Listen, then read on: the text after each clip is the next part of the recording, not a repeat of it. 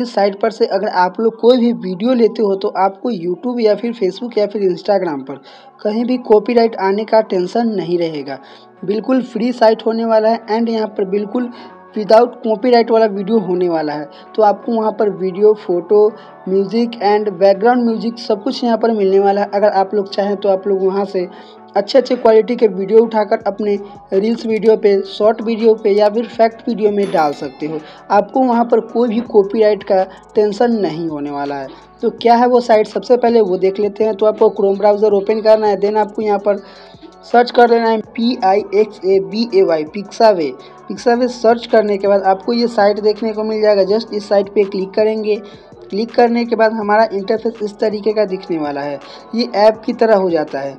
अब यहाँ पर ऑल इमेज लिखा हुआ है, उसी तरीके से यहाँ पर अगर आपको वीडियो लेना है तो वीडियो पे क्लिक कर लेंगे।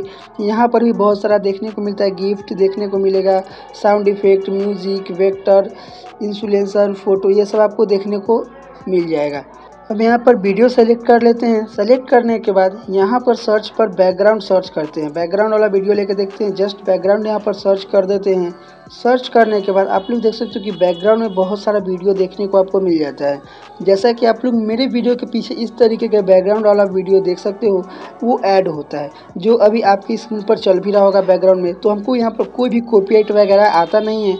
ईजिली मैं यूज़ कर पाता हूँ उसको। तो यहाँ से आप लोग कोई भी वीडियो इस तरीके से डाउनलोड कर सकते हो। डाउनलोड करने के लिए जस्ट आपको वीडियो पे क्लिक करना है। क्लिक करने के बाद अब आपको ऊपर फ्री डाउनलोड का ऑप्शन मिल जाएगा। आपको यहाँ पे क्लिक करना है। जितना भी आपको एमबी में चाहिए उतना सेलेक्ट करके डाउनलोड पर क्लिक करोगे ये डाउनलोड हो जाएगा। तो ये बिल्कुल फ्री वेबसाइट है। आप लोग यहाँ से विदाउट कॉपीराइट एलिमेंट्स ले सकते हो एंड यहाँ पर अपने वीडियो के अंदर यूज़ कर सकते हो। सो so, कैसा लगा आज का इन्फॉर्मेटिव एंड नॉलेजल वीडियो आप लोग मुझे कमेंट करके ज़रूर बताना।